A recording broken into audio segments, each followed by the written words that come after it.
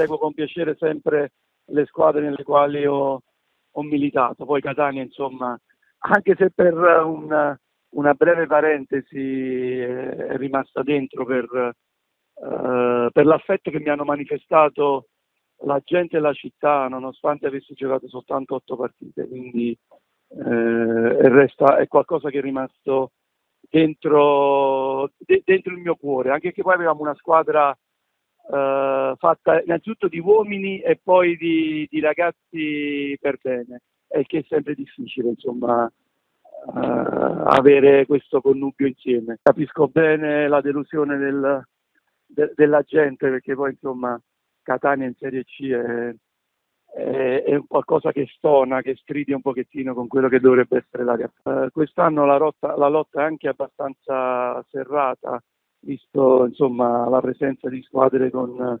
blasone importante, vedi Catanzaro, eh, anche se in questo momento è in difficoltà il Bari, eh, il Catania, insomma quindi è un campionato eh, importante e difficile. Regina, insomma, la Ternana che in questo momento si è in, è in testa al campionato, quindi nonostante abbia perso una partita. Eh, Catania avrebbe bisogno sì eh, che, che, la squadra insomma eh, svegliasse di nuovo quel, quella, quella, passione nel, nel, tifoso e questo lo può dare soltanto purtroppo i risultati. So che la dirigenza insomma ha fatto sforzi abbastanza importanti, um, ci sono state decisioni anche abbastanza severe e importanti nei confronti di alcuni giocatori uh, che avevano un certo peso all'interno dello spogliatoio, quindi si sta cercando in tutte le maniere, credo, di portare Catania al, al posto che merita. È un percorso lungo, difficile